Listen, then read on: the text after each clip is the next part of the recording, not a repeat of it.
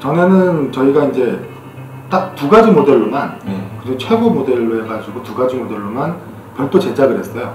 저희 학생들을 위한 모델로. 그러다 보니까 이제 그 사양을 나름대로 학생들이 쓰기에 적당한 사양을 만들면서 가격대도 보다 보니까 참 상당히 파격적인 가격으로 노트북을 저한테 제기 제시해 주셨어요.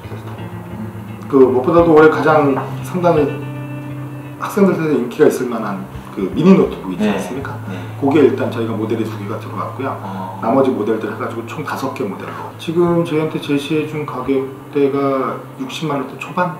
90만 원대 저만. 예예 초반으로 저희한테 제시해 주셨어요 그러니까 저희처럼 전격 지원하면서 네. 최대한 학생들이 많이 그렇게 노트북을 구매할 수 있도록 한 경우는 없었죠 그러니까 저희 열린사이버대학교를 네이버 창에서 검색하는 것이 아니라 노트북을 검색하면 저희 열린사이버대학교가 그런, 그런 상황이 돼버렸으니까요 그참 파급효과가 정말 크더라고요 그 PMP는 사실 되게 싸고요 싸고 사실은 그 PMP는 효과성에서 많이 떨어집니다 왜냐면 그각 그 대학들 컨텐츠 자체 저작권 문제가 걸려 있어요. 근데 그 저작권 문제를 해결할 수 있는 그런 것들 자체가 PMP는 상당히 좀 제한적인 부분이 많습니다.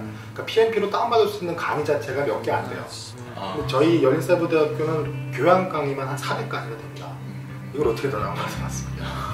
실제로 PNP로 제공 그 콘- 교육 콘텐츠를 제공하고 있는 한 모 대학교는 모든 강의를 제공하는 게 아니라 일부분만 그럼요. 제공하고 그러면서도 그 교육에 대한 그 뭐지 그 라이센스 이런 거에 대해서는 그냥 무상 무방비한 상태에서 그냥 계속 제공을 하고 있는 거예요. 그게 이제 되는 강의만 하겠죠. 오픈은. 아 오픈이 가능. 예. 오픈이 가능한 것만. 근데 그 오픈이 가능한 게 상당히 어렵습니다. 또 오픈이 가능하기 위해서는 시스템을 도입해야 됩니다. 그 자체 저작권 자체 문제를 해결할 수 있는 것, 불법 다운로드나 네. 이런 부분들이 어느 정도 차단이 되고 걸리게 만드는. 근데 그걸 하나 입히는데 강의 하나 찍는 거에 한 대여섯 배 가, 가격이 들어요. 아 비용이. 예. 그러니까 거기서 그 모든 강의를 이렇게 오픈한다 절대 불가능한 일입니다. 아, 그러니까 PMP는 이제 그야말로 이제 한밀 간. 그러니까 델 같은 경우는 인터내셔널 기업이라서 사실 되게 힘들다고 하더라고요 그거 자체가. 근데 저희 학교의 학생들, 그러니까 학생들만을 위한 뭐 기업용이 기업용으로도 싸게 나가는 게 있지만 학생들용이기 때문에 더싼 어떤 가격적인 파격적인 가격을 제시해 주셨었어요. 저희 학교에서 어떤 그 학생들에게 제공하는 물품 자체는 공신력이 있어야 됩니다. 음. 그래서 대리라는 그런 부분이 있을 때 정적으로 될 수가 있고요. 제가 사양 대비 가격이라 가지고 쫙 비교 검토했었거든요. 근데 아무래도 사양 대비로 봤을 때는 가장 정말 좋은.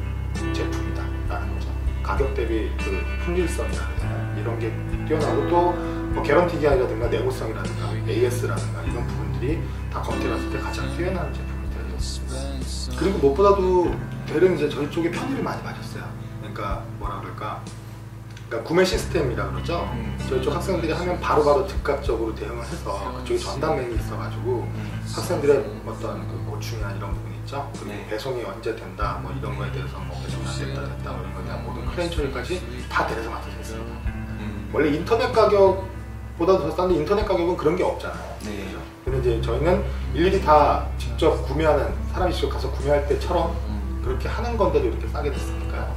그러니까 델에서 네. 저희의 주문 접수를 받는 인원들이 별도로 존재해서 아. 그냥 저희가 주문해서 이렇게 축 명단만 넘겨주고 그렇게 끝낸 게 아니었었어요. 음. 한 명씩 올 때마다 음. 올 때마다 바로바로 그 사람이 컨택을 해서 음. 그 사람에 대해서 구매 오더 요청 받고 거기에 대해서 배송 뭐 내리고 뭐 이런 것들이 있죠.